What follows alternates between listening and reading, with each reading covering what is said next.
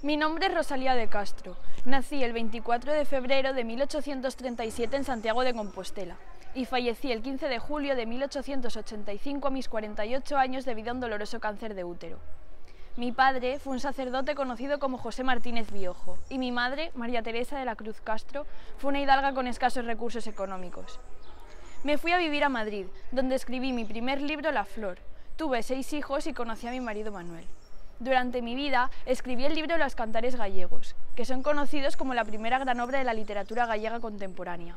Además, soy considerada junto con Gustavo Adolfo Becker como la precursora de la poesía moderna española.